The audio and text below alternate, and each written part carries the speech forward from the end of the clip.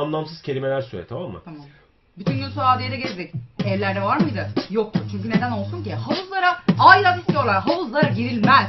Çünkü o havuzlarda klor dolu. Dostum klor dolu. Kardeşime ayağını bile sokmam havuza ben. Çünkü kızım giremez. Çünkü eşim giremez. Çünkü neden girsin ki? Böyle aidat neden? Bu kadar basit amına kodum. Devam et, Fazla devam ama et, yani iyiydi, tamam. evet aynen böyle. Şey Bu kadar basit anasını sattımın bir. Anladın mı? Bu kadar basit yani. Hiçbir